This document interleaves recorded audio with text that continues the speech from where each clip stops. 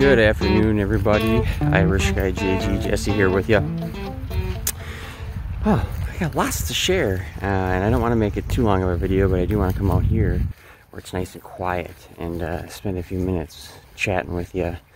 Uh, kind of just got up from a nap, and um, I needed today. Um, we went on a we went on a little bit of a ride this morning, and we went to uh, we went to uh,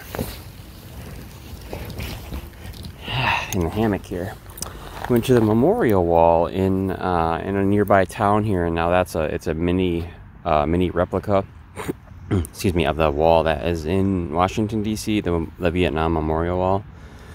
So we went to that and um, we saw that, and today I was just needing some rest, so I rested, and now I woke up and I woke up rejuvenated and kind of um, wanting to share the message of, of, of hope and, and seeing people succeed and seeing people fail is a part of life. And sometimes we go through life and we, we, we sometimes fear that we're going to fail all the time and, and we see it. But we got to remember, you guys, is that we also are able to succeed. And we're also able to see other people succeed in their recovery, in their jobs, in their life, with their families and friends. And so, if it's possible for them to do it, then it's possible for us to do it. So, a very good example when we're going through life is, is taking a look around and seeing what other people are doing and, and, and noting, uh, you know, are they are they having success doing that? Are they not?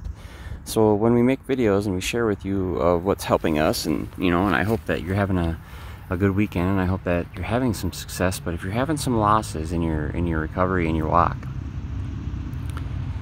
get a good um, get a good schedule on your prayer on your prayer time and spending time with God. And, and, and the more you do that the more you're going to understand what he wants us to do I hope because that's what how that's how it worked with me.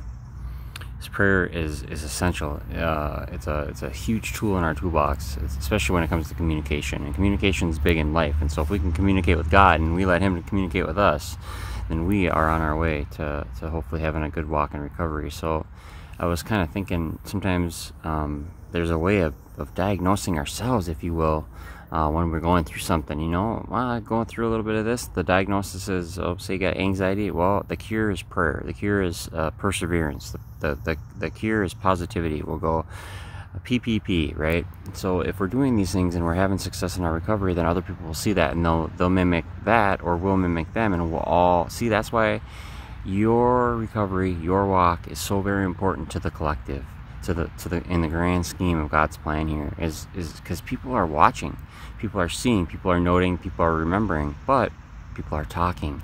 And so when people talk and they get to share their experience of what they're what they're experiencing out here, whether it's wins or losses, somebody's going to learn something along the way and that's what i want us to learn on the channel. And that's why i love sharing messages with you guys. And i know that they're always kind of serious but with a little bit of a lighthearted kick on the side. But listen it's this is some serious stuff. That's why we've made the channel. That's why we have the channel. So we could continue to do good things in the name of god in our recovery staying sober helping others being fruitful in our walk. Amen and amen huh? Well i hope you guys all have a great sunday evening um, back at it tomorrow. Um, and uh, yeah, have a great and blessed week, you guys. Love you